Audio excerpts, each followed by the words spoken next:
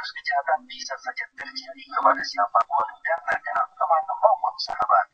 Aksi tipu-tipu meraup untung besar dengan cara yang jitu justru wajib untuk diwaspadai. Dengan tawaran mengiurkan menjadi manajer sebuah perusahaan swasta dapat meminang gadis cantik menjadi pendamping hidup. Gelandang timnas Haryono terjerat aksi penipuan sang teman yang tanggung-tanggung uang tiga setengah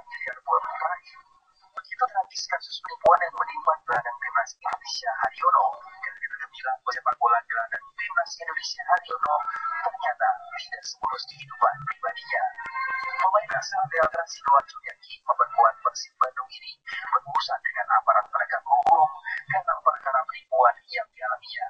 Tragisnya, sang penipu bukan orang yang asing buat Haryono, melainkan dia adalah teman Haryono sendiri. Nanda Wajiansa, warga Sumur Bandung, kota Bandung ini adalah pelaku penipuannya. Haryono menjadi korban penipuan bermodus janji perkawinan dengan seorang gadis perusahaan yang juga ternyata fiktif. Gajinya sebagai gelandang Persib selama 2010 hingga 2014 sebesar 3,5 miliar rupiah atas tak berbekas. TV One menelusuri kasus ini dengan datang langsung ke kota Kembang Bandung. Nasib malang menimpa Haryono seorang pesepak bola nasional serba uang tiga setengah miliar rupiah harus hilang sia-sia karena ditipu daya daya sendiri posisi di sebuah perusahaan dan seorang gadis untuk pendamping ternyata semua ada di belakang. Bagaimana kisahnya? Ikuti terus lengkap.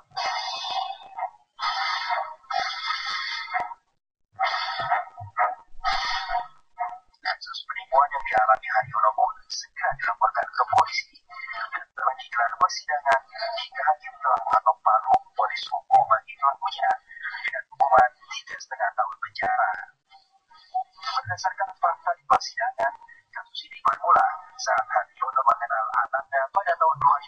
2010 silam di sebuah rumah makan di Dago. Ananda yang mengaku sebagai general manager PTKS Widya Utama yang bergerak dalam bisnis batubara di Balikpapan menawarkan kepada Haryono untuk menjadi pimpinan perusahaan dan sekaligus pemilik perusahaan. Pada persidangan ya, bahwa terdakwa ini menjadikan salah satu korban Haryono kebetulan adalah pemain nasional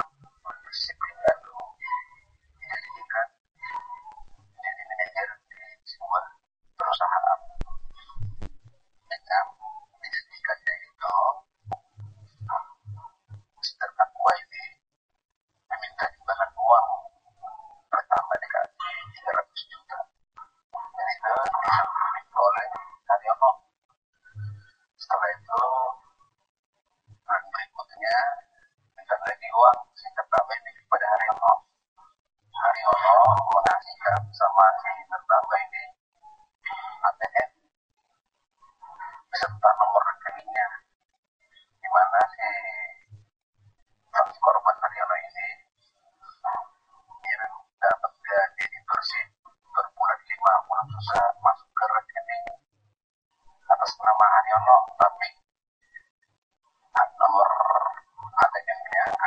ada terdakwa ini berlangsung selama tiga tahun hampir lebih kurang tiga setengah miliar uang Haryono ini diambil oleh si terdakwa. Awalnya anak Darwajiana merayu Haryono untuk memberikan uang 300 juta rupiah sebagai syarat berbalik nama sebuah perusahaan yang kelak Haryono.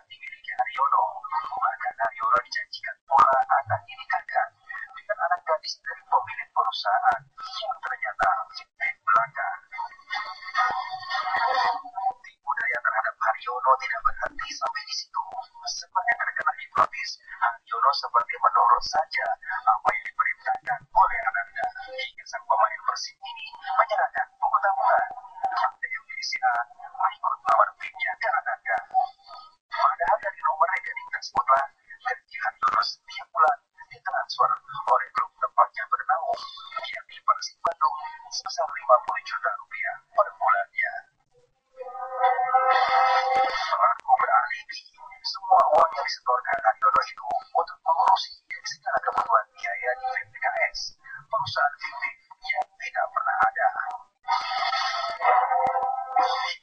tahun 2014 atau hampir tiga tahun, Haryono baru merasa curiga dengan tingkah laku Ananda. Karena selama itu pula, Ananda tidak pernah menunjukkan bukti berkas tentang balik nama PTKS yang dijanjikan akan dimilikinya. Hingga bulan Februari 2014, kerugian dialami Haryono sekitar 3,5 miliar rupiah.